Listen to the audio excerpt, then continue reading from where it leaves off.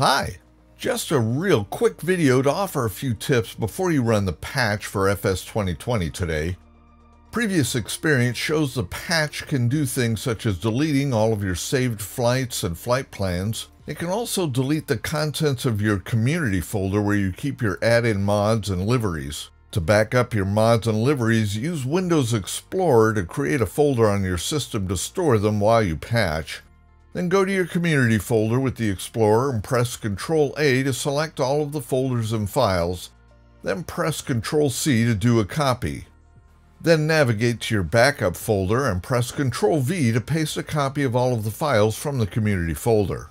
You'll need to do the same thing with your saved flights. If you don't know where they're stored, just go into FS 2020, go into the World View and select Load, and now you have a file navigation pane that will show you where these are stored. Click on the end of the file path at the top and press Ctrl C to copy the path. Then open an Explorer window and click on the path box at the top, press Ctrl A and Ctrl V to paste the new path and hit enter.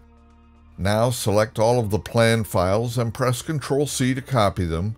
Go to your backup folder and paste them there with Ctrl V. If you get a dialog box that says you're pasting to a location that doesn't support encryption, click on the Do This for All items and click Yes to complete the copy. That's it. Happy patching today and good luck. I'll see you in another video later today to discuss the patch and what I find out after I patch my system. So until that next video, take care.